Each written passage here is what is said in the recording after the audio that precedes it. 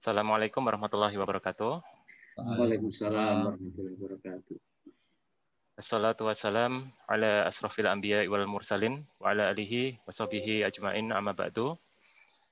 Segala puji bagi Allah yang telah melimpahkan rizki dan karunia-Nya sehingga kita dapat hadir di dalam acara siang hari ini.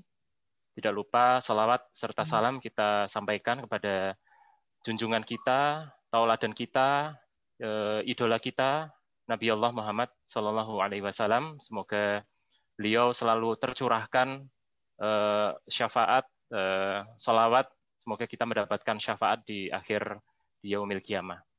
Pada hari ini, teman-teman, selamat datang kembali.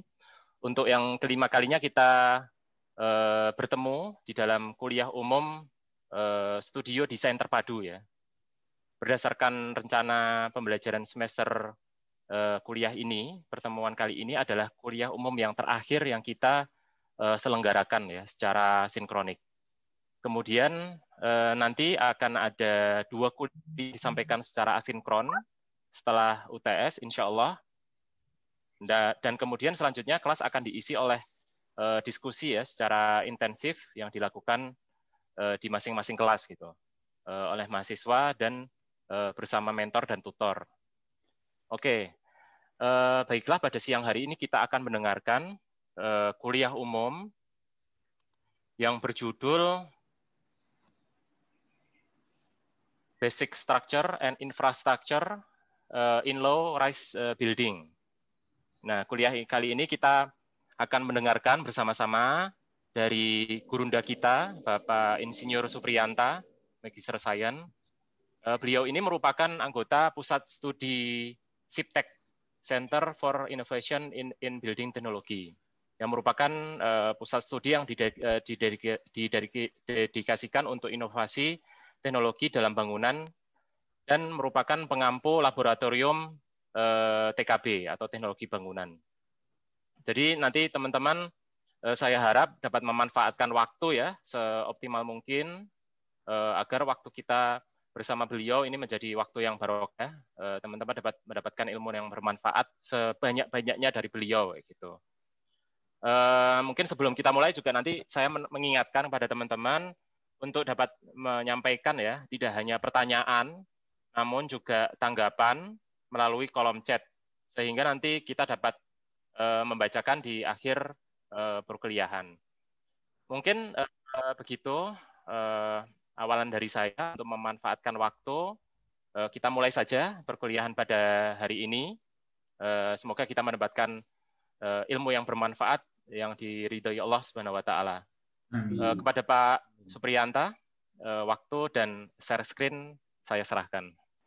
Baik, terima kasih. Assalamualaikum warahmatullahi wabarakatuh.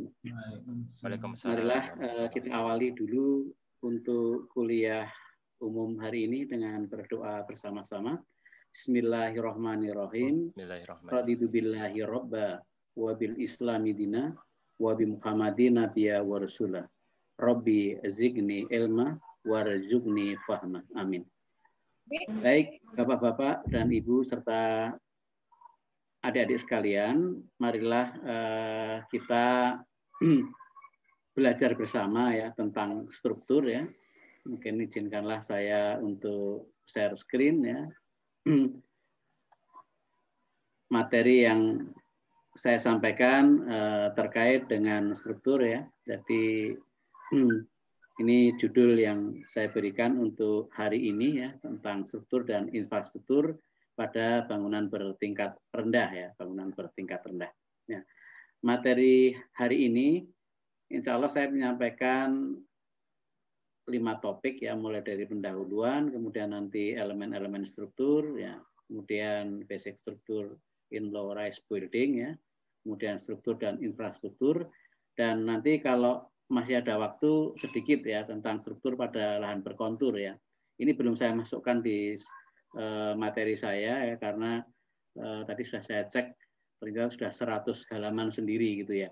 Nanti nanti saya dengan cepat saja menyampaikan kepada adik-adik sekalian biar waktu yang tersedia bisa kita manfaatkan secara efektif ya. Baik. uh, berkaitan dengan materi ini ya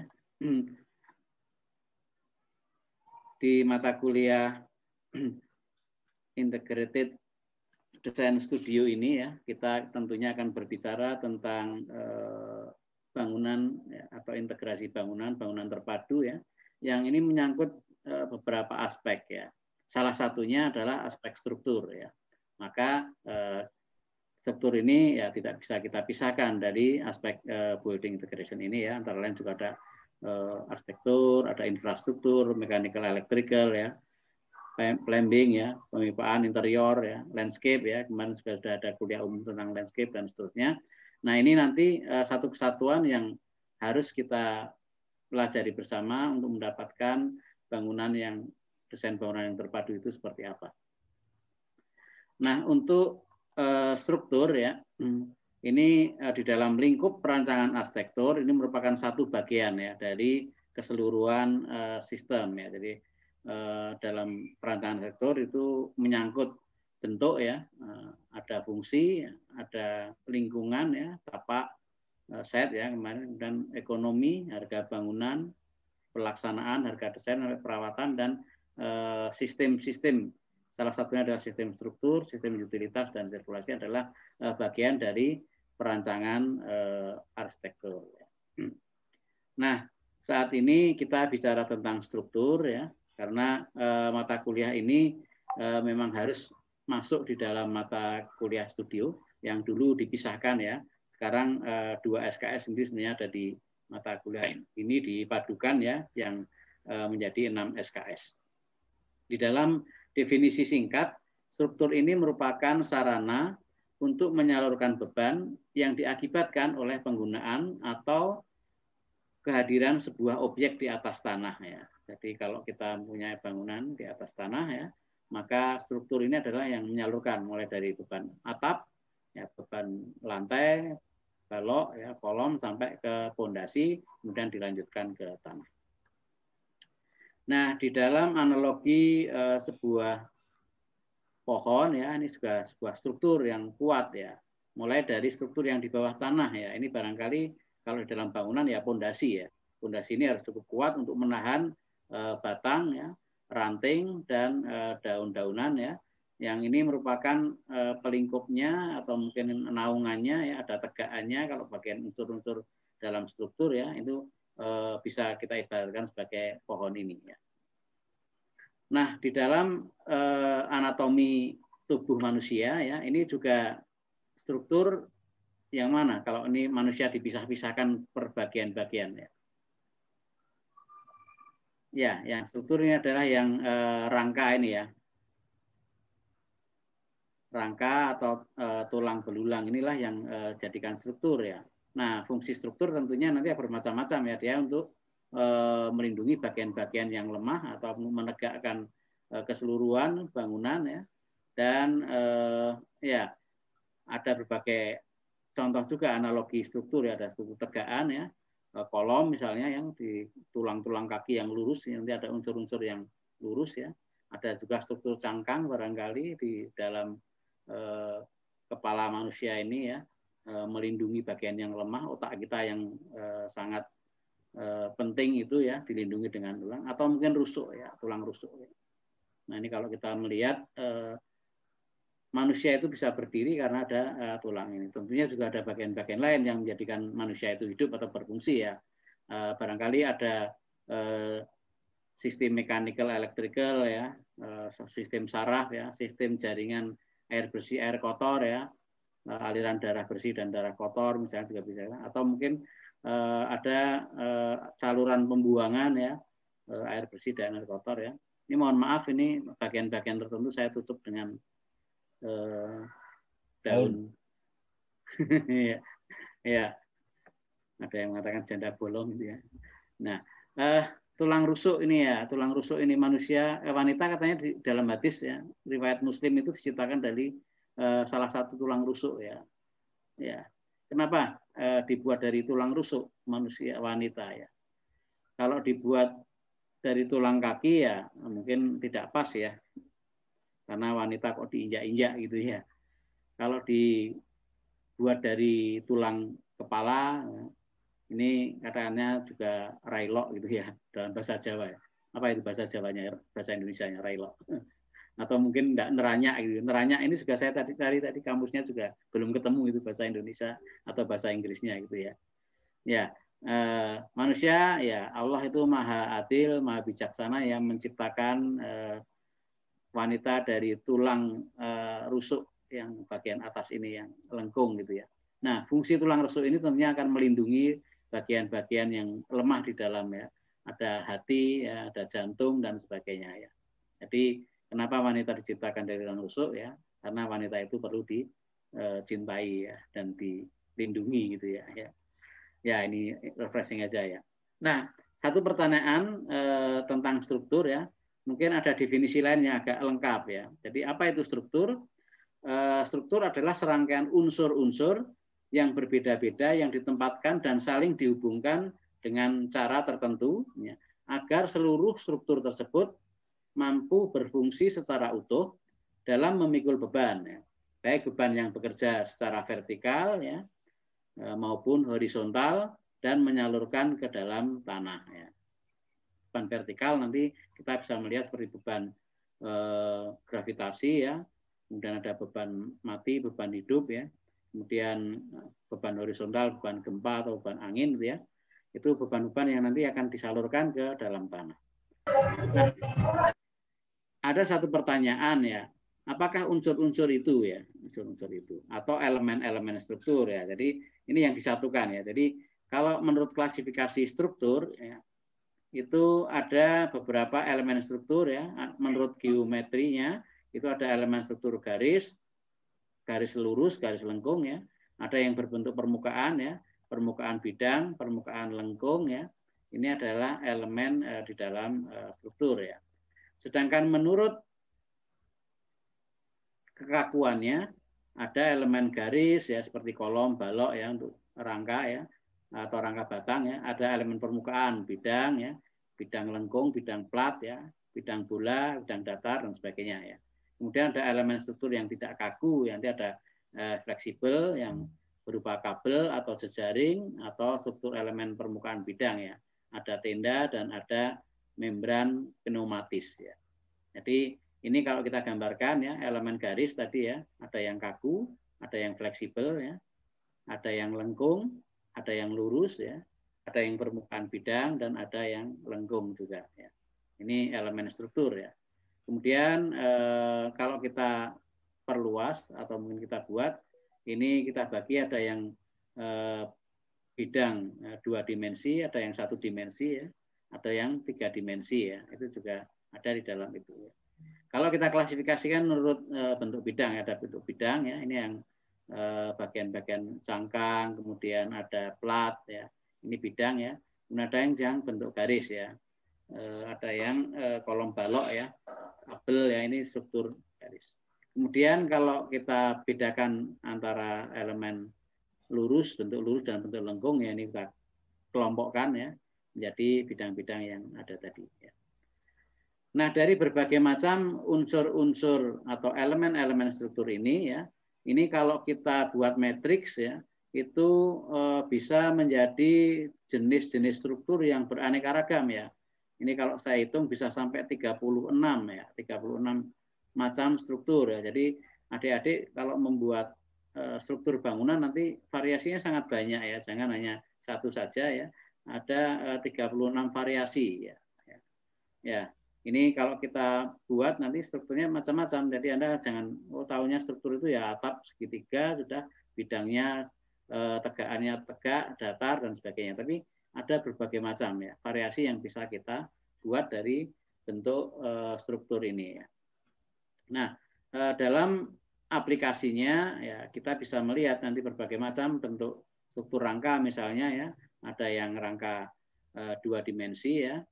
Kemudian ada yang tiga dimensi ya dan seterusnya.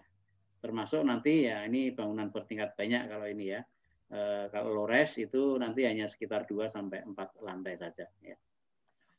Nah, ini eh, beberapa aplikasinya dan contoh-contoh eh, struktur ya yang bisa kita lihat. Misalnya struktur rangka ya untuk rangka atap ya ini kuda-kuda yang dua dimensi ya rangka batang kemudian ada yang ini masih dua dimensi ya. Kalau ini materialnya menggunakan baja ya jadi material sekalian saya perkenalkan bahwa Anda bisa menggunakan kayu, baja atau beton atau kombinasi ya atau kombinasi ya. Nah ini beberapa uh, contoh. Kalau yang ini sudah struktur uh, tiga dimensi ya atau space truss ya. Jadi ada kolom-kolom, kemudian ada penyangga, dan ini bisa digunakan untuk bentangan-bentangan yang luas ya, bentangan yang luas. Beberapa uh, contoh struktur rangka ya, contoh struktur rangka. Kemudian yang tiga dimensi ya nanti uh, berupa rangka ruang ya. Rangka ruang ini juga uh, nanti ada mata kuliah struktur lanjutan ya yang akan membicarakan tentang detail-detail dan mekanisme beban perilakunya untuk tentang lebar ya. Anda bisa menggunakan struktur rangka tiga dimensi ya, misalnya ini menggunakan sistem eh, sambungan Mero ya atau eh, Takenaka ya dan seterusnya ya. Di samping menggunakan bahan baja ya atau logam, Anda bisa juga menggunakan bambu ya. Anda ingin membuat eh, bentuk-bentuk lengkung ya. Nanti saya ada contoh lain juga aplikasinya seperti ini ya. Ini bambu untuk bentangan yang lebar ya. ya mungkin eh, kolomnya tidak hanya satu bambu saja dan bambu itu bisa dilengkungkan ya. Adik-adik bisa merancang ya eh, bangunan-bangunan yang besar seperti ini ya. ya. Nah ini eh, eh, contoh bentuk dum juga yang material alamiah ya yang eh, menggunakan hijau dan bambu yang bisa digunakan ya dengan ketinggian sekitar 7 meter, diameter 11 meter ya Anda bisa menggunakan struktur kayu yang bambu yang semacam ini ya. Nah, ini juga teorinya juga dari struktur rangka ya yang mungkin uh, terdiri dari elemen-elemen segitiga yang disatukan sehingga bisa membentuk uh, struktur yang cukup kuat ya. Nah, kemudian uh, dari bentuk elemen tadi ini ada yang bentuk lipat juga ya, bentuk lipat eh, bidang lipat nah, atau mungkin lipat yang lengkung ya ini contoh-contohnya bisa banyak adik-adik bisa membuat contoh bangunan yang menggunakan eh, struktur lipat ya struktur lipat ini bagian dari eh, struktur elemen-elemen tadi yang disatukan hingga bentuk bangunan-bangunan ya mungkin origami ya dari kertas Anda bisa membuat modelnya sehingga mungkin dari kertas yang tipis itu kalau dilipat-lipat jadi bentuk struktur yang eh, menarik juga gitu ya. Ini juga masih struktur lipat ya, contoh-contohnya saja gitu ya. Kemudian struktur eh, shell ya atau cangkang ya, ini juga eh, bagian dari struktur bidang ya, lengkung ya, yang tadi elemen bidang, elemen lengkung disatukan jadi bentuk-bentuk ada yang transaksional ya, ada yang dome dan sebagainya itu bagian-bagian dari struktur sel ya. Nah, contohnya tentunya banyak ya, ada Opera House di Sydney atau gedung uh, bandara ya, ya di New York ya, atau ini ada sebuah pasar yang menggunakan struktur dome juga ya. Nah, terserah nanti Anda apakah rumah tinggalnya juga terbuat dari bentuk struktur dome juga bisa nanti kalau Anda menginginkan Eh, menyesuaikan dengan kondisi alam sekitar ya. Ya ini uh, struktur sel ya yang digunakan di Opera House Sydney maupun uh, airport ya ini. Ya. Kemudian yang lain adalah struktur kabel ya. Tadi ada yang struktur tunggal garis ya atau mungkin struktur kabel dan sejaring ya ini banyak digunakan untuk bangunan-bangunan bentang lebar juga termasuk jembatan ya jembatan ini masih uh, dua dimensional ya. Uh, intinya struktur kabel itu struktur tarik dan tekan ya. Jadi pada kolom-kolom utama ini diberikan beban tekan ya. Kemudian pada tali-tali kabel ini diberikan beban tarik ya. Ini bisa membentang uh, cukup lebar ya dengan uh, kabel baja mutu tinggi sekarang ya yang anti karat juga sudah ada ya dengan diameter yang kecil bisa digunakan untuk bentuk yang lebar ya bangunan sederhana yang eh, kombinasi antara struktur kabel ya dan eh, tenda ya ini juga bisa anda buat. Ini juga struktur kabel tenda atau membran juga ya ini juga bisa digunakan untuk bentangan cukup lebar ya. Baik, itu beberapa contoh eh, struktur-struktur ya yang bisa Anda kembangkan ya dari eh, elemen-elemen struktur yang sederhana. Ya. Nah, selanjutnya eh, pengembangan ya struktur-struktur itu banyak contoh-contoh yang diaplikasikan di dalam bangunan ya bentuk dom itu bisa lipat juga bisa bentuk dom ya atau mungkin bentuk plat plat tiritar atau mungkin rangka rangka dua dimensi ataupun tiga dimensi ya atau bentuk yang uh, bebas ya. Bentuk struktur rangka ya, ini variasinya sangat banyak. Silakan anda bisa mengamati bagaimana struktur itu bisa berdiri dengan baik ya dan cukup uh, bagus ya. Baik uh, kemudian saya masuk ke materi yang kedua ya yang terkait dengan uh, low rise building ya bangunan bertingkat rendah. Kalau di dalam uh, buku bangunan bertingkat rendah eh, tulisan Bapak Nurkolis ya, Profesor Nurkolis. Ini ini salah satu bukunya yang mengantarkan dia sampai profesor ya. Ini ditulis sebelum profesor ya 2006 ya. Itu eh, Pak Nurkolis membuat ya, klasifikasi ya. Bangunan bertingkat rendah ada yang bangunan tinggi ya, dan ada bangunan bertingkat ya. Jadi eh, kita sebenarnya bicara di bangunan bertingkat rendah ini ya. Jadi eh, ada bangunan tinggi ya, tapi tidak bertingkat ya. Jadi mungkin Anda buat eh, bangunan yang tinggi sekali gitu, atau mungkin bangunan bertingkat tinggi ya. Eh, ini kalau klasifikasi saya bisa masuk ke bangunan eh, bertingkat banyak ya. Jadi bangunan bertingkat rendah itu 2 sampai 4 lantai, bertingkat banyak itu 4 sampai 15 lantai, kemudian di atas 15 lantai itu nanti kita sebut dengan bangunan tinggi atau high rise building ya. Nah ini uh, klasifikasi untuk bangunan bertingkat rendah ya. Nah uh, selanjutnya uh, dalam lingkup perancangan struktur dan arsitektur ya kita akan bicara dalam struktur itu ada beberapa sistem yang ada di dalamnya ya meliputi ada fungsi-fungsi ya lantai satu, lantai dua fungsinya apa saja, kemudian ada sistem struktur dan konstruksinya mulai dari fondasi, kemudian ada kolom, ya, lantai sampai atap gitu ya. Kemudian ada sistem utilitas ya.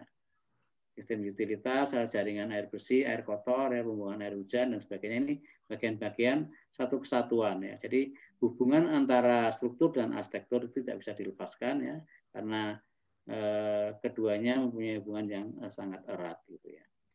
Nah, untuk aspek struktur sendiri itu kita bagi menjadi struktur atap ya bagian atas, kemudian struktur utama dan struktur bawah atau pondasi gitu ya. Kalau dulu mungkin adik-adik mengenal di ada landasan, tegaan dan naungan ya, mungkin ini pembagiannya untuk bangunan sederhana seperti ini. Kalau bangunan tinggi nanti e, cuma dibedakan dua ya, e, superstructure dan substructure. Yang superstructure itu struktur yang di atas tanah, yang di bawah tanah, fondasi dan basement itu masuk substructure gitu ya. Nah, kemudian aspek set ini juga berpengaruh juga dalam struktur ya. Nanti Anda bagaimana eh, membuat ya struktur itu eh, kaitannya dengan set. Jadi dulu ada materi tentang set ya, bagaimana kalau Anda membangun di tanah keras ya, struktur tanah keras ya, fondasinya harus seperti apa ya. Bahkan beberapa hotel di Mekah sana ya saya lihat ada yang pondasinya itu e, tidak terlalu dalam karena permukaan tanahnya sudah keras ya batu ya. Jadi e, tanahnya berbatu ya jadi jadikan pondasi. Jadi walaupun bangunan bertingkat ya dia mungkin tidak terlalu dalam ya. Kemudian kalau di tanah keras atau tanah miring ya tanah miring ini nanti harus ada e, solusi juga bagaimana strukturnya untuk mengatasi agar tanah tidak longsor dan sebagainya. Kemudian juga tanah di tepian air ya apakah Anda membuat struktur uh, panggung ya atau mungkin struktur uh, apung dan seterusnya itu nanti ada konstruksi dan struktur sendiri ya berkaitan dengan set yang seperti ini. Atau tanah berawa ya atau tanah lumpur ya atau bahkan uh, di Kalimantan tanah gambut ya yang itu punya spesifikasi tersendiri gitu ya sehingga mungkin Anda nggak bisa menyatakan menyamaratakan ya antara struktur bangunan di tanah keras dan tanah berlumpur gitu ya kalau disamakan ya tentunya eh, bangunannya akan bisa rusak ya. Baik, eh, kemudian saya lanjutkan untuk terkait dengan sistem yang lain. Ya struktur itu uh, tidak bisa dipisahkan dengan sistem-sistem yang lain tadi ya. Ada sistem air bersih ya. Air bersih bagaimana? Anda akan uh, me, karena dalam bangunan kan harus ada air bersihnya ya hmm, jadi anda bisa menyatukan di dalam bangunan ya sehingga mungkin kalau anda buat bangunan dua lantai nanti bak airnya anda taruh di mana di atas atap ya atau mungkin ada plat atap yang menyatu yang mungkin strukturnya harus kuat untuk menyangga bak air ini ya. Bak air itu kan air kan cukup berat ya, berat jenisnya satu gitu ya. Berarti kalau satu meter kubik itu ya satu ton kurang lebih ya. Anda bisa bayangkan. Atau mungkin kalau Anda ingin memisahkan strukturnya ya, Anda bisa membuat bangunan terpisah ya antara struktur untuk uh, water tank ya yang penampung air di atas ya dengan ini kalau sistemnya uh, upfit ya atau downfit ya air ditampung di atas kemudian mengalir ke bawah ya. Ini berkaitan dengan air bersih. Dengan penggawaan juga demikian ya. Anda perlu uh, mendapatkan penggawaan yang bagus, misalnya bisa membuat uh, bukaan di bagian atap ya untuk sirkulasi udara ya, untuk pencahayaan juga demikian ya. Ada ada bukaan-bukaan berupa pintu atau jendela atau mungkin harus ada shading-shading ya. Untuk memberikan bayangan matahari agar tidak langsung masuk ke ruangan Anda ya. Jadi kalau berkaitan dengan pencahayaan ya kalau bisa panasnya tidak masuk ya. Itu caranya bagaimana? Ada dengan eh, kanopi atau dengan shading ya. Atau mungkin kurang pencahayaan bisa buka atas ya di atap itu Anda bisa buka dengan skylight ya dan seterusnya ya ini kaitan eh, struktur dengan sistem yang lain. Nah kalau kita lihat definisi struktur tadi adalah menyalurkan beban ya bapak beban horizontal maupun vertikal ya kita ya sistem kinerja uh, struktur ya terhadap beban ya. Ini contohnya yang merah ini beban-beban gravitasi ya dari beban atap ya sampai ke beban plafon ya disalurkan ke bawah lagi ya beban penggunaan fungsional ya kemudian disalurkan ke balok ya plat lantai ya, sampai ke pondasi ya diteruskan ke tanah ya ini sistem penyaluran beban harus tahu ya termasuk beban dari samping ya beban gempa misalnya atau beban angin gitu ya. Nah, eh, secara garis besar ya pada struktur bangunan itu eh, sebenarnya hanya dibagi dua ya. Dia ada struktur rangka dan struktur dinding pemikul ya. Dari dua macam sistem ini ya, kalau dikembangkan bisa jadi banyak ya. Tadi ada eh, beberapa hal kalau di buku yang lain bangunan bertingkat itu ada 16 sistem struktur ya dari dua sistem ini atau mungkin kombinasi ya kombinasi antara sistem dinding pemikul dan sistem rangka ya sistem rangka. Nah kalau anda menggunakan sistem rangka mungkin bisa kita lihat ciri-cirinya ya kalau kita lihat dinahnya itu ada deretan titik-titik ini adalah titik-titik kolom ya penyangga struktur dinding eh, struktur rangka ya struktur rangka ya. Nah ini kita bisa memadukan ya bagaimana kalau kita mendesain eh, suatu bangunan ya yang menggunakan sistem rangka ya. Mungkin berkaitan dengan fungsi ya. Misalnya Anda merancang suatu hotel, mungkin tengahnya ada area servis ya, kemudian ada kamar-kamar hotel. Nanti ruang-ruangnya bisa Anda desain eh, menurut ya, modul struktur yang Anda tetapkan ya. Sehingga mungkin area kamar-kamar ya Anda letakkan di tepi karena bisa view-nya eh, bisa keluar lebih bebas ya. Yang area kamar mandi WC di dalam ya ada salasar di tengah untuk servis atau maintenance ya itu bisa digunakan ada saf-saf secara vertikal dan sebagainya. Ini adalah hubungan antara organisasi ruang dengan struktur ya. Ini ada kaitannya memang. Jadi sehingga ketika Anda nanti merancang uh, denah ya, juga tolong dipikirkan uh, sistem strukturnya Anda menggunakan apa gitu ya. Gridnya seperti apa agar jelas gitu ya. Nah, grid itu bisa bermacam-macam ya, tidak kaku tadi ya, hanya kotak-kotak saja, tapi mungkin agak variasinya. Ada grid rata, ada grid berirama, ada grid radial ya, ada grid sudut segi 4, segi 6 ya, segi 8 ya dan sebagainya. Nah, ini titik-titik ini bisa menjadikan penempatan-penempatan nanti eh, struktur rangka pada bangunan Anda gitu ya. Ini rangka tapi untuk eh, kuda-kuda ya, atap ya, nanti Anda bisa membuat. Nah, ada kaitannya ternyata struktur itu eh, dengan pencahayaan alamiah juga gitu ya. Jadi kalau Anda mendesain ya bagaimana Anda ingin tadi saya katakan memasukkan cahaya matahari tapi panasnya tidak masuk ya mungkin ya. Ada tritisan atau mungkin ada bukaan di atas untuk membuat cahaya masuk atau dari refleksi bagian dari bangunan ya itu juga bisa anda buat ya dari dan dari fasad bangunan nanti akan kelihatan ya bangunan itu dengan apa yang bayang ya ada eh, kolom yang menonjol atau ada dinding yang dimasukkan dan keluar masuk sehingga mungkin akan menambah eh, keindahan dari bangunan itu ya. Nah, kemudian ada juga kaitannya dengan sistem penghawaan alamiah ya. Jadi Anda bisa buat bukaan-bukaan. Mungkin tadi kenapa Anda buka bukaan di atas sampai untuk memasukkan cahaya juga bisa untuk mengeluarkan udara panas ya. Jadi mungkin udara panas itu bergerak dari yang dingin ke panas ya ke atas ya. Kemudian nanti bisa dibuang melalui celah-celah yang lubang di atap gitu ya. Nah dengan melihat sirkulasi semacam ini nanti mungkin yang vertikal ini bagian tangga barangkali ya bisa untuk memasukkan uh, udara keluar ke atas ya.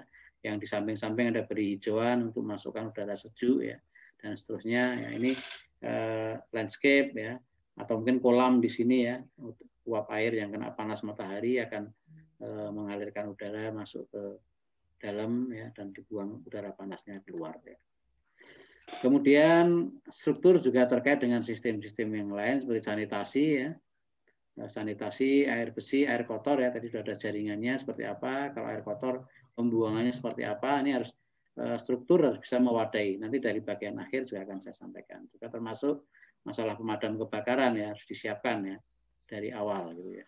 Jangan sampai terjadi kebakaran ya, seperti kilang minyak ya yang baru saja terbakar ya. Barangkali sudah disiapkan ya, tapi mungkin ada hal-hal kurang dikontrol atau mungkin ada hal yang eh, gangguan ya yang ini harus maintenance juga harus bagus juga gitu ya agar eh, sistem hidran misalnya ada tempatkan di tiap lantai nanti airnya akan mengalir atau menyembur ke bagian yang terkena api dan sebagainya gitu ya. Nah ini ini juga terkait dengan sistem-sistem itu ya. Jadi air atas itu tidak boleh habis ya. Kalau eh, digunakan untuk mandi mungkin kerannya ada di bagian agak atas ya. Yang sisa ini nanti untuk digunakan untuk pemadam kebakaran misalnya atau eh, hidran yang ada di eh, bangunan di bawahnya gitu ya.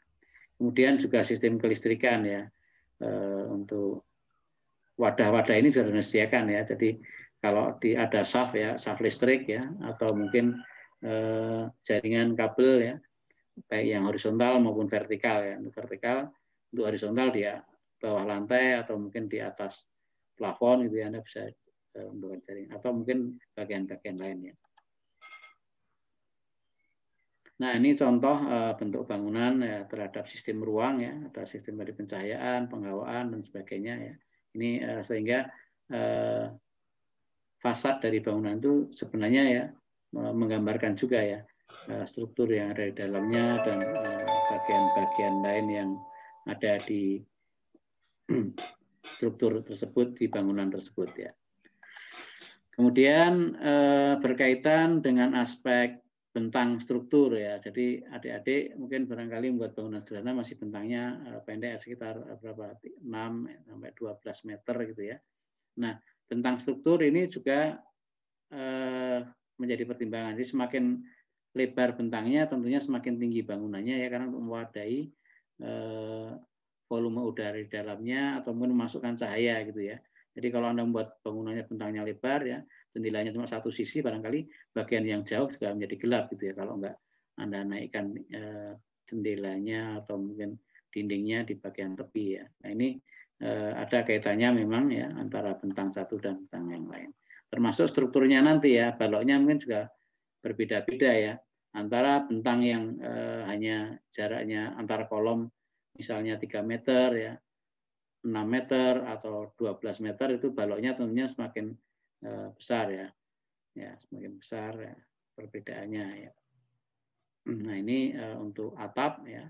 Itu juga kalau Eh, plafon, tinggi plafon itu juga berpengaruh terhadap struktur ya. Anda ingin plafonnya tinggi ya nanti bisa eh, sistem kuda-kudanya yang Anda desain eh, sendiri atau mungkin ketinggian dindingnya Anda tambah ya untuk mendapatkan plafon yang tinggi gitu ya. Nah, selanjutnya di dalam struktur Anda juga harus memikirkan ya bahwa kolom-kolom struktur tadi juga harus menyangga atap gitu ya. Jadi kalau ada tegaan ya berupa kolom-kolom ini yang tadi menggunakan rangka misalnya, itu eh, ini nanti akan menyangga eh, struktur atap ya ada kuda-kuda yang ada di eh, atas kolom-kolom penyangga ini dan bentuk atapnya itu bisa bermacam-macam ya. Satu dinah ya itu bisa empat macam atau lima bahkan lebih ya bentuk atapnya ya. Anda bisa membuat uh, bentuk semacam ini ya, mungkin untuk rumah tinggal sederhana ya. Itu uh, atapnya bisa Anda buka semacam ini dengan bentuk atap. Garis atapnya ini yang putus-putus merah ini ya. Kemudian ada Anda juga bisa membuat uh, kanopi depannya ya untuk teras bentuk atapnya semacam ini atau bentuk yang lain nggak bisa ya. Hanya panggang P saja miring ke depan kemudian atasnya ada beri atap dak ya. atau mungkin bentuk e, limasan ya. Jadi ini masih dinanya seperti yang tadi gitu ya. Cuma ada tambahan-tambahan. Kalau anda mau tambah besar ya tentunya menambah kolom di e, tambahan ya. Tapi kalau yang bentuk sederhana bisa semacam itu sehingga e, dalam satu bangunan ya barangkali bentuk atapnya bisa beda-beda gitu ya dan ini Anda bisa membuat dengan menarik garis ya. Nanti ada technical drawingnya barangkali Anda bisa menggambarkan bentuk atap eh, dalam satu bangunan ya. Ini denahnya nanti bentuk bangun tampaknya bisa seperti ini. Ya. Nah, kemudian aspek utama dalam struktur atap itu ya harus Eh, tergambarkan di dalam potongan biasanya nanti ya. Jadi ini struktur sederhana ya pada bangunan tidak bertingkat ya. Intinya ada eh, mulai dari struktur atap ya. Kalau ini mungkin kuda-kuda atapnya bisa menggunakan beton ya bisa saja atau mungkin rangka kuda-kuda atau mungkin gunung-gunung ya. Kemudian ada kolom-kolom ya. Yang kolom-kolom ini disangga oleh eh, pondasi ya. Kalau bertingkat ya ada pondasi footplat misalnya. Ya. Tidak hanya pondasi batu kali saja gitu ya. Kemudian ada bagian Eh, tangga ya ini tangga ini juga bagian dari bangunan bertingkat ini harus juga anda desain letaknya di mana gitu ya.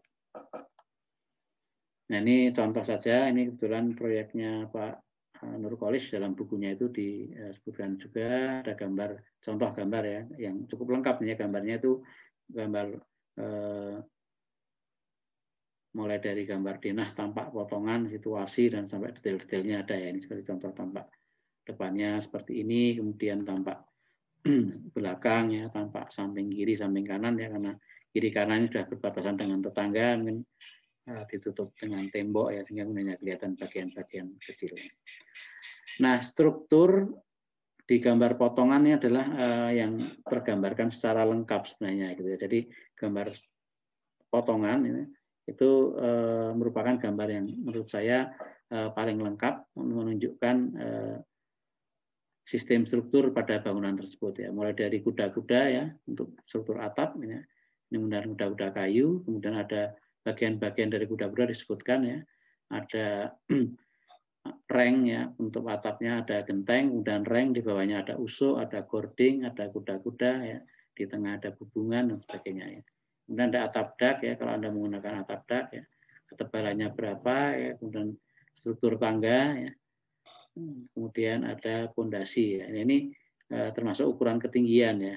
Jadi ketinggiannya sudah dilihat dan jarak ya. Ini dalam gambar potongan ya. Kalau Anda memotongnya pas di daerah kamar mandi ya, kemudian ada kelihatan safnya gitu atau mungkin mandinya atau mungkin wastafelnya ya dan seterusnya. Ini bagian-bagian dari potongan struktur ya yang Eh, biasanya agak detail gitu ya, menunjukkan bagian-bagian bangunan mulai dari atas sampai ke bawah bangunan. Kemudian eh, rangka atap ini juga harus terlihat dengan jelas. Jadi kalau hanya tanpa atapnya dari atas seperti ini, mungkin nanti eh, rencana atap ya Anda bisa buat mulai dari ya bentuk dinahnya tadi sudah tergambarkan, kemudian di mana letak kuda-kuda utamanya, ada setengah kuda-kuda, ada jure luar, jure dalam, ya, ada usuk yang sejajar, ya. kemudian ada reng yang melintang, ya, dan seterusnya. Ini bagian-bagian uh, atap yang harus digambarkan juga. Jadi itu uh, atap bisa berdiri dengan kokoh ya dengan adanya rangka-rangka semacam ini. Ini detail kuda-kuda rangka ya. ya. Kemudian gambar denah ya, tentunya lengkap juga mana uh, ruang-ruangnya, pintu jendelanya dan sebagainya, ya. termasuk tangga naiknya dari mana sampai ke mana ya. ya. Ini lantai duanya ada void barangkali ya yang eh, dari lantai atas bisa melihat sampai ke lantai bawah ya. Detail tangga juga nanti Anda bisa tahu strukturnya ya. Ada balok bordes dan sebagainya. Kemudian di bawahnya ini ada penumpunya ya. Baik, itu bagian yang ketiga dan yang terakhir ini bagian yang keempat ya. Eh, saya mencoba mengkaitkan antara struktur dan utilitasnya ya. Jadi Eh, building utility itu menyangkut masalah transportasi vertikal ya terutama transportasi system ya kemudian juga masalah penghawaan pencahayaan ya kemudian jaringan air bersih dan air kotor serta building safety nah ini eh, terkait dengan eh, sistem transportasi ya kalau bangunan bertingkat kalau ini untuk bertingkat banyak ya ada lift ada atau eskalator ada tangga ya, ada jaringan-jaringan shaft ya. Ini kalau bisa diletakkan dalam satu core, dalam satu eh, zona tertentu ya. Kalau bangunan Anda cuma dua lantai ya nanti eh, pakai lift atau enggak ya. Ya kalau bangunan dua lantai memang belum disyaratkan ya pakai lift. Tapi kalau Anda membuat enggak apa-apa Pak, saya punya banyak dana kok yang di kantor kepresidenan itu ya dua lantai juga pakai lift ya dulu zamannya Presiden Gus Dur gitu ya kalau naik ke lantai dua pakai lift ya ini ya nggak apa-apa difasilitasi tapi kalau anda tidak memerlukan ya eh, minimal ada sarana transportasi vertikal ya untuk lantai kedua harus ada tangga dan sebagainya ya.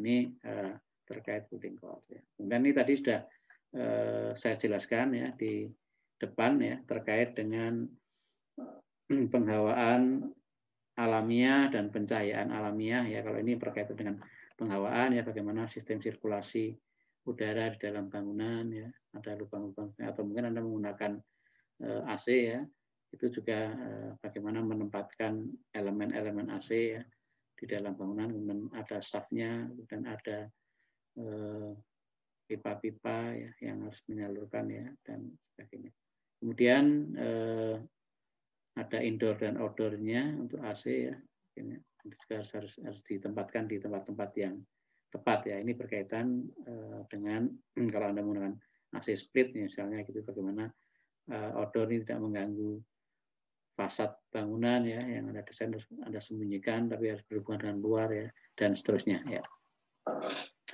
Ini uh, sampai ke detail ya.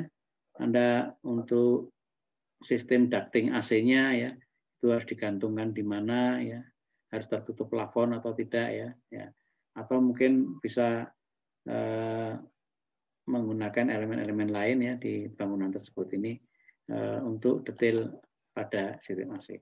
Kemudian untuk sistem lighting atau pencahayaan, baik pencahayaan alamiah atau buatan ini juga harus anda anda buat ya. Kalau untuk yang pencahayaan alamiah tadi ya untuk matahari bagaimana untuk mendapatkan sinar matahari yang baik gitu ya kemudian mengurangi panasnya ya untuk menampilkan fasad bangunan yang baik juga berpengaruh ya.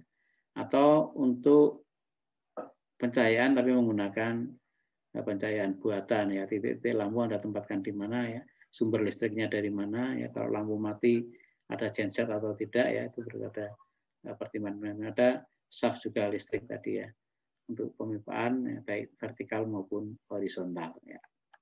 Kemudian yang keempat berkaitan dengan air bersih dan air kotor ya. Kalau untuk penampungan tadi yang terkait struktur di awal sudah saya jelaskan. Kemudian untuk eh, sumber air bersih ya, mungkin menggunakan air PDAM atau air sumur ditampung di bawah, langsung bisa dipompa, disalurkan ke lantai. Atau ini sistem yang upfit, yang ini sistem downfit ya. Jadi air bisa dipompa ke atas, kemudian dari atas nanti secara gravitasi akan mengalir ke lantai-lantai berikutnya.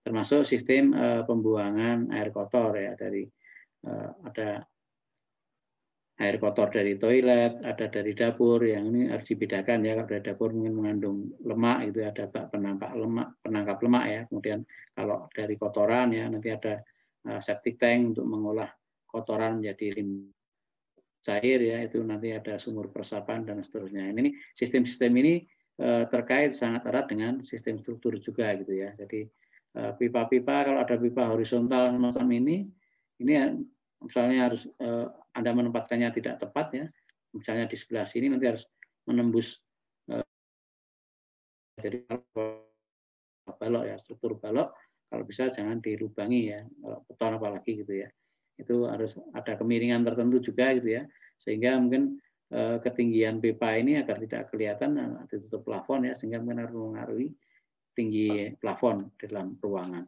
gitu ya. Nah, kemudian penempatan-penempatan eh, saf ini ya, ini juga perlu ya, di mana eh, untuk eh, saf untuk jaringan air bersih, jaringan air yang kotor gitu ya, itu juga harus terdefinisi dengan baik agar desain Anda nanti akan menghasilkan desain yang baik. Untuk lavatory atau toilet ya, tadi masih sama, kalau bisa dizonasikan ya, jadi Anda membuat lantai satu, lantai dua kalau bisa segaris ya, toiletnya secara vertikal sehingga mungkin memudahkan jaringan pengupaan dan seterusnya. Ya. Baik, saya kira itu untuk sementara ini masalah pengupaan detail-detailnya, ya, penempatan pengupaan dan sebagainya. Yang terakhir masalah keamanan tadi juga saya jelaskan untuk hidran dan sprinkler ya, hidran dan sprinkler bagaimana baiknya. Eh, demikian saya kira yang bisa saya sampaikan untuk ini sudah hampir satu jam ya. Lebih dan kurangnya saya mohon maaf. Assalamualaikum warahmatullahi wabarakatuh. Waalaikumsalam warahmatullahi wabarakatuh. Terima kasih uh, kepada Pak Pri atas pemaparannya ya. Udah cukup komplit ya Pak uh, Pak Supri ya di sini ya. Ada uh, 100 slide uh, sendiri ini untuk lima materi di sini. Nah ini mungkin saya ingin menyampaikan beberapa eh, poin-poin ya tadi yang sudah disampaikan Pak Pri ya. Jadi ada lima materi yang disampaikan oleh Pak Supri hari ini tentang uh, basic uh, integrasi ya, basic structure dan infrastructure ya di dalam bangunan sederhana atau bertingkat rendah. Yang pertama adalah elemen struktur, kemudian struktur bertingkat rendah itu sendiri, kemudian yang ketiga adalah Eh, struktur-struktur dasar ya di bangunan bertingkat rendah gitu. Bagaimana kita eh, harus dapat menyajikan eh, gambar kerja yang lengkap gitu, tergantung struktur yang nantinya kita akan pakai. Kemudian materi keempat yaitu adalah infrastruktur dan utilitas ya. Di situ ada lima pokok bahasan ya di utilitas ya. Nanti teman-teman dapat apa namanya membaca terlebih eh, detail ya. Nanti materi akan insya Allah akan disampaikan di kelas masing-masing itu tentang ya, infrastruktur nih terutama. Di situ di dalamnya ada transportasi bangunan, kemudian ada sistem penggawaan, ada sistem pencahayaan, air bersih, air kotor, dan terutama ada sistem keamanan gitu. Nah ini semuanya eh, kita harus dapat menyajikan, dapat merancang gitu, dapat mengharmonisasi ya seluruh perancangan ini sehingga terjadi apa namanya sebuah uh, integrasi bangunan yang uh, bagus ya di situ ya. Mungkin itu uh, poin-poin yang dapat saya sampaikan ya mungkin uh, ada tambahan dari Bapak Ibu pengampu yang lain. Ini sudah hadir di tengah kita uh, Pak Uut, Maturun Pak Uut, Pak Arif, Pak Handoyo. Assalamualaikum, selamat siang Pak Uut, Pak Arif, Pak Handoyo. Pak Hanif juga sudah hadir di sini. Silahkan Bapak Ibu yang lain.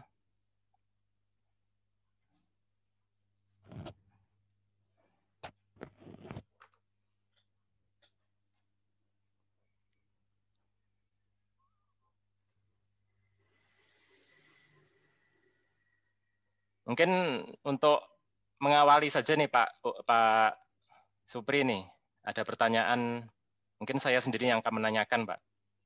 Mungkin eh, di sini kita perlu ada semacam universality ya dan apa namanya aksesibilitas di dalam eh, bangunan ya. Nah, bagaimana eh, kita dapat harus dapat mewadahi nih teman-teman kita yang eh, punya eh, difabilitas gitu ya uh, mungkin kita juga uh, di antara kita juga ada yang membangun uh, untuk penghuni-penghuni yang lanjut usia nih beberapa di kelas saya juga ada ini yang generasi milik ownernya adalah generasi sandwich nih Pak Pak Supri kayak gitu. Jadi hmm, dihuni oleh tiga generasi sekaligus di situ. Yang kemudian uh, di situ uh, bangunan ini harus harus dapat mewadahi ketiga generasi tersebut kayak gitu. Nah, ini kan ada kaitannya dengan apa namanya universalitas, kemudian uh, adanya uh, kita harus dapat memperhatikan uh, aksesibilitas gitu. Yang kaitannya dengan uh, transportasi di dalam bangunan, Pak Pak uh, Supri ya. gitu.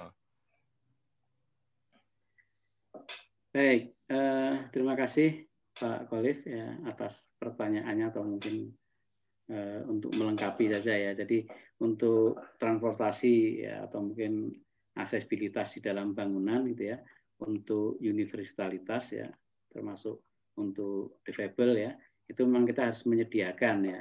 Kalau eh, lokasinya atau mungkin bangunan Anda mungkin naik turun gitu ya, eh, jangan pakai trap tangga semuanya gitu ya. Berarti perlu ada eh, yang namanya ram gitu ya.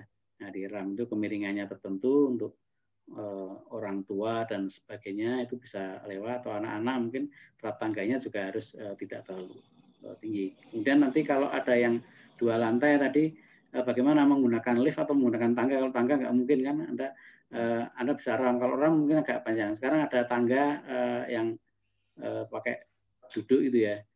Duduk kemudian oh. nanti bisa naik sesuai tangganya itu. Tadi tangganya itu berundak biasa yang yang normal, yang tidak nanti bisa ada. Ya kebetulan ada videonya tapi saya eh, belum saya siapkan ya. Tadi yang saya siapkan yang belum belum uh, masuk di materi saya yaitu yang berkontur tadi ini tanah-tanah yang miring bagaimana itu Eh, baik di dalam bangunan maupun di luar gitu ya. Mungkin kalau diperkenankan saya eh, izin tambahan lagi materi berkaitan dengan material yang eh, berkontur ya, material berkontur. Mungkin pernah kita melihat satu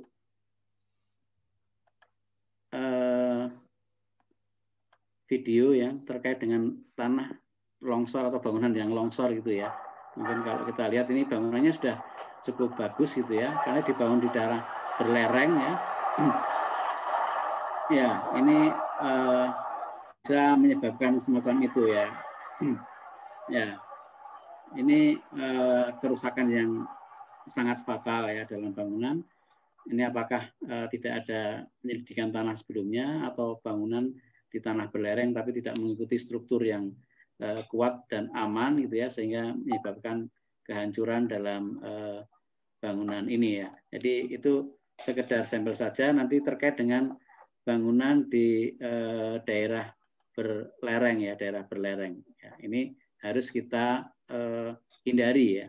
Oleh karena itu perlu kita juga memikirkan kalau kita membangun di daerah yang berlereng ya atau daerah yang miring itu itu uh, dengan beberapa hal ya, beberapa aspek ya. Misalnya ya, ini ada yang di uh, setnya kemarin saya lihat ada yang di tepi sungai, ada yang di pegunungan ya. Itu harus memang kita pikirkan hal-hal yang semacam itu gitu ya. Jadi jangan sampai terjadi longsor semacam ini ya, Anda bangunnya terlalu di daerah yang membahayakan ya seperti tadi bisa roboh gitu ya. Yang ini harus ada perkuatan barangkali untuk pondasinya atau barangnya itu lebih mahal dari harga bangunannya gitu ya. Nah, ini kondisi-kondisi yang semacam ini ya, itu tentunya harus Anda bisa mensikapi ya bagaimana membuat eh, bangunan itu eh, bisa menyesuaikan dengan alam tapi strukturnya bisa cukup kuat ya.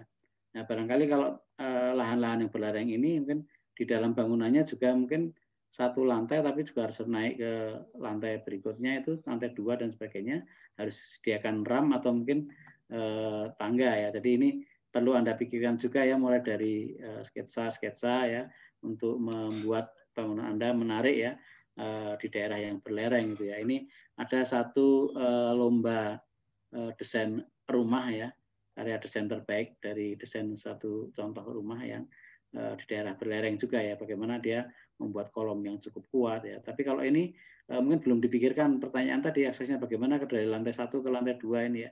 Ini nggak ada apakah harus digendong atau pakai ram juga kemiringannya harus ke mana ya atau mungkin dia hanya berakses di atas saja ya ini juga perlu dipertimbangkan ya ini beberapa contoh uh, rumah yang uh, di daerah berlereng di daerah berlereng gitu ya nah beberapa karya ini menggunakan tangga juga ya untuk lantai satu lantai dua. Dari belakang cuma kelihatan satu lantai tapi dari depan kelihatan uh, dua lantai ya karena mungkin daerah berlereng ya kemudian kalau di data arsitek itu juga ada beberapa contoh ya bangunan di daerah berlereng bagaimana menempatkan ya uh, fungsi-fungsi tertentu mana yang ada di lantai bawah mana ada di lantai atas gitu atau ada ada yang membuat uh, cantilever yang cukup panjang dengan struktur rangka gitu ya. Eh, pondasinya ada di satu titik, tapi kan levelnya banyak karena mungkin view-nya cukup bagus di bagian uh, lereng dan sebagainya. Ya, ini bisa uh, dibuat ya. Nah, uh, demikian saya kira tambahan dari saya. Jadi tadi yang ini belum saya masukkan ke materi saya, sebenarnya masuk ke bab 5 tadi, tapi sudah 100 tadi, jadi mungkin harusnya ada tambahan-tambahan keterangan-keterangan itu tapi belum sempat saya buat gitu ya. Baik, ini ada pertanyaan Pak Khalif di chat. Ya, ini mungkin saya bacakan Pak ini uh, ya, yang ya. bertanya nih, Ma, uh, maaf Pak, izin bertanya untuk bangunan yang menerapkan sistem modular square dengan ukuran modul 4,2 kali 4,2 meter bermaterialkan baja dan disusun sebanyak 12 modul. Apakah struktur utamanya adalah modul itu sendiri atau perlu struktur penguat yang lain? Ya, uh, untuk struktur baja ya, ini uh, kalau dia kan sistemnya banyak ya, ada sistem rangka atau mungkin sistem box ya, uh, di bangunan banyak. Ini disusun 12 modul ini maksudnya secara horizontal atau secara vertikal. Kalau secara vertikal mungkin 4 kali 4 gitu ya, Anda membuat bangunan 12 lantai bisa saja gitu. Struktur utamanya yaitu gitu ya. Jadi jarak 4 kali 4 itu ada kolom 4 kali 4 Anda kebetulan punya aset cuma 10 meter eh, persegi gitu ya atau mungkin 12 meter persegi ya. Eh, mau buat rumah kos-kosan untuk 12 kamar gitu ya. Vertikal vertikal ini bangunan berlantai banyak ya. Tapi saya kira tidak eh, anda buat vertikal. Kalau bayangan saya ini horizontal ya modulnya 4 kali 4 ya mungkin bisa 8 kali 4 gitu ya atau 8 kali 8 itu modul struktur utamanya bisa kelipatan dari modul 4 kali 2, 4 kali 2 ini ya. Jadi mungkin bisa 8 kali 4 kali 84 untuk struktur utamanya, kolomnya barangkali, kalau dua lantai ya.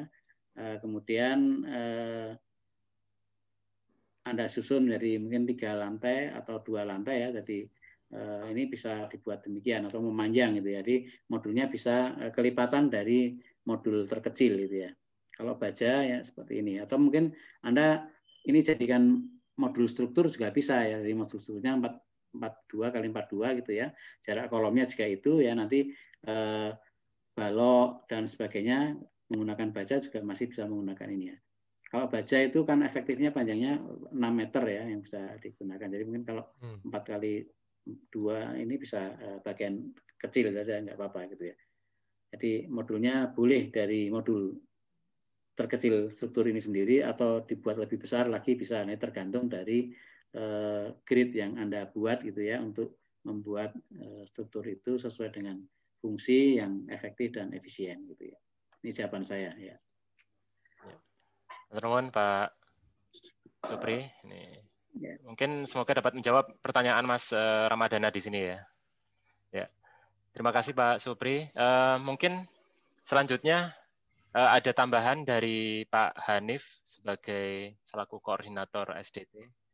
J, J. Monggo Pak Hanif, waktu dan J, terima kasih Pak Khalif. Uh, sebelum mungkin uh, saya mereview seluruh materi kuliah umum sejak pertama sampai hari ini, uh, Bapak Ibu sekalian, mungkin Pak Supri izinkan saya misalnya sedikit uh, bertanya Pak Supri. Ya, silakan. Misalnya Pak Supri, uh, hmm.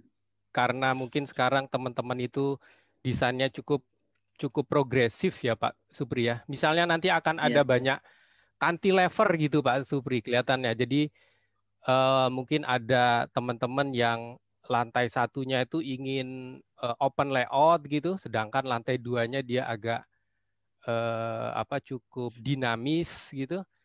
Jadi kalau uh, nanti di mana di lantai dua itu akan ada cantilever, jadi ada semacam struktur horizon yang uh, apa yang akan menopang beban yang ada di atas itu uh, apa semacam nasihat Pak Pri untuk teman-teman gitu gimana Pak Supri ya? Dari sisi material dari sisi uh, bentangan dari sisi mungkin kaitannya dengan uh, apa konstruksi-konstruksi secara khusus. Misalnya ada cantilever gitu Pak Supri misalnya ada apa uh, ruang uh, hunian gitu yang akan menjorok uh, sampai 3 meter tanpa uh, kolom gitu, nggak apa-apa ya Kak Supri ya? Tapi pertimbangannya apa Pak Supri itu? Hmm, ya, baik eh, tentang cantilever ya dan tentang fungsi dulu ya. Jadi kalau lantai satu dan lantai dua ya, kalau anda menginginkan bentang yang lebar, kaitan dengan bentang lebar ya, itu kalau bisa yang bentang lebarnya ada di atas gitu ya. Yang di atas di lantai dua, yang bentang pendeknya di lantai bawah. Maksudnya kalau di lantai itu kan platnya harus menyangga, uh, lantai ya menyangga lantai kalau bisa didukung oleh kolom-kolom struktur. Kalau ini menggunakan struktur rangka, ya, struktur rangka. Nah, tentang cantilever itu eh, tergantung dari material yang digunakan ya. Karena mau menggunakan beton, eh, baja atau kayu ya. Kalau beton ya itu eh, ya ada keterbatasan ya. Kalau kita membuat balok itu kan ada yang perhitungan praktis sepersepuluh sampai dua belas bentang gitu ya. Nah nanti kalau anda baru misalnya kanopi eh, depan gedung itu ya atau ketemu depan teras itu ya, itu kan harus menjorok keluar itu hanya hanya beban sendiri saja itu paling hanya sekitar eh, tiga meter ya maksimal kalau sampai 4 meter nggak berani tanpa kolom ya. Apalagi di atasnya difungsikan untuk fungsi-fungsi tertentu ya. Memang kadang-kadang ya bisa juga nanti dengan uh, teknologi ya, mungkin dengan nanti di cantilever tapi ditarik dengan kabel ya. Dari kabel ke atas itu tadi tentunya ada eh, penariknya gitu ya. Itu eh, memungkinkan ya untuk cantilevernya bisa lebih panjang. Atau menggunakan baja tadi ya. Di baja itu bisa cantilevernya juga bisa lebih panjang gitu ya. Jadi eh, memang hati-hati sekali saya eh, ingatkan untuk membuat cantilever ya jangan eh, terlalu walaupun di dalam desain bangunan modern ya ada yang cantilevernya cukup panjang ya tapi itu strukturnya aku sudah ini mutu kualitas materialnya juga uh, tersendiri gitu ya. Kayu apalagi gitu ya uh, mungkin juga ada keterbatasan uh, bentangnya walaupun uh, ya pengennya tanpa disangga kolom gitu ya. Nah kalau bisa uh, jangan terlalu panjang nanti levelnya ini maksimal 3 meter saja untuk beton gitu ya kalau untuk baja baja 5 meter bisa baja bisa lebih dari itu mungkin 5 meter tapi ditarik dengan kabel ke atas itu ya. Okay, okay, okay, tarikan okay. ya atau penyeimbang bebannya nanti ya. Itu nanti di di materi bentang lebar itu ada gitu ya untuk uh, bentang-bentang ada batasan-batasan tertentu gitu ya. Ya. J. Saya kira itu untuk sementara ya, Pak. J, maturnuwun Pak Supri. Ya. Pak Holif ada pertanyaan dari chat ini, Pak Holif mungkin. Ya nih, uh, dari Ismail nih Pak, Pak Supri nih. Ya, ya. Mengenai material bambu untuk menentukan diameter bambu eh, pada struktur itu bagaimana, Pak? Baga eh, untuk struktur utama, penentuan diameter bambunya itu bagaimana? Mungkin ya. cara perhitungannya atau? Ya. Ya, ya uh, bambu ini struktur khusus ya, nggak ada. Kebetulan uh, saya belum tahu pengukuran atau penghitungannya ya, bagaimana kalau beton, uh, kayu ya atau baja itu ada ya Eh, tabel yang untuk memperkirakan diameter atau mungkin dimensi batang-batang kalau sebagai kolom. Tapi kalau bambu belum. Kalau bambu diameternya juga eh, terbatas juga di pasaran atau yang ada itu paling diameter 8 sampai 10 atau bambu petung yang mungkin sampai 15 cm. Nah, itu penggunaannya di dalam eh, struktur ya tentunya disesuaikan dengan beban yang akan di Eh, gitu ya. Tadi contoh di dalam gambar saya tadi ada bentangannya cukup lebar ya.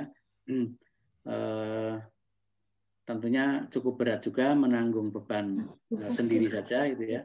Maka bambunya tidak hanya dipasang satu, tapi beberapa bambu disatukan gitu ya. Mungkin ada lima bambu atau enam bambu ya yang diikat dari satu menjadi menjadi dimensi yang besar. Ya. Ini tentunya ini berdasarkan pengalaman. Kalau perhitungan khusus saya belum mendapatkan ya caranya menghitung seperti apa gitu. Jadi mungkin pengalaman biasanya ahli struktur atau mungkin yang menggeluti struktur harus tahu juga kuat tekan bambunya berapa, kuat tariknya berapa, ini memang ada ukuran-ukuran tertentu. Ini biasanya eh, kalau teknik sipil ya berdasarkan perhitungan-perhitungan juga eh, dengan menghitung eh, beban yang akan diderita, kemudian kekuatan kayu bambu itu. Jadi intinya kuat tekan dan kuat tarik kayunya itu mampu menahan beban yang akan ditimpakan kepadanya gitu ya.